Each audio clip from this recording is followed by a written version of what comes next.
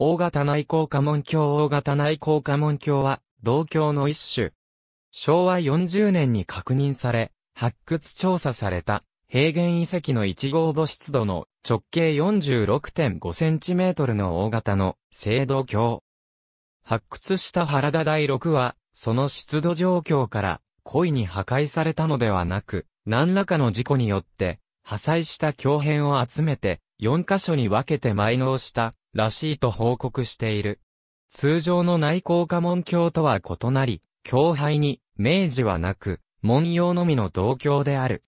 その文様は、鏡背中心の中を囲んで八葉型の中座があり、その周囲に8個の内向家紋、9本の同心円、外円部を配す。鏡の円には、縦に、背面から正面に、約1500本の古城線があり、鏡面となる。発掘者の原田第六はその文様から、内向家紋八葉鏡と名付けている。平原遺跡での出土数は発見発掘時には4面と報告されていた。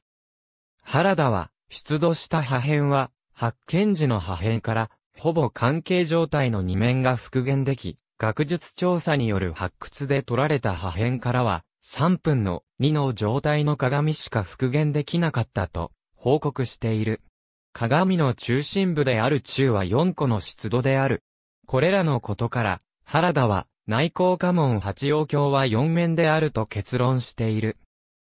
平成の前原市の再調査の際、大型内向家紋鏡4面のうちの1面には、他の破片との接合箇所が不明な辺縁部の破片が確認されたして、前原市教育委員会の依頼により、奈良文化財研究所が、鉛同位体秘法や発光分光分析により、当該破片は12号鏡とは別個体に属するもので、ある、とする可能性が指摘された。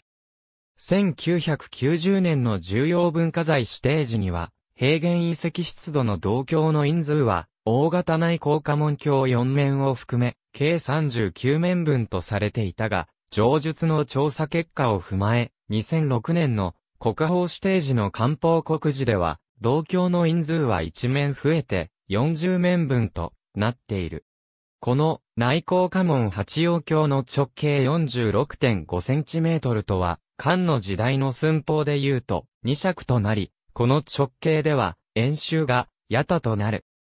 原田第六はこの演習、八田と、新東五部所の、伊勢に諸行大神宮御鎮座伝記の、八田鏡の記述、矢頭花咲八王系と、図章が類似すること、また、演技式伊勢大神宮式や、高大神宮儀式帳において、鏡を収める、お景色の内径が、一尺六寸三分であることから、この銅鏡を、伊勢神宮のご神体や高鏡と同型の鏡であると主張している。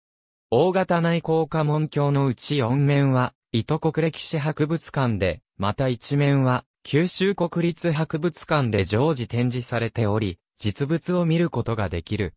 ABC、原田第六、平原弥生古墳、大広目高の墓、井出進行き、大和城、大広目高の墓、1996。井出進行き、日本国家の起源と、天孫降臨、2014。原田第六、実在した、神話、1966。原田第六、平原弥生古墳、大広名高の墓、1991。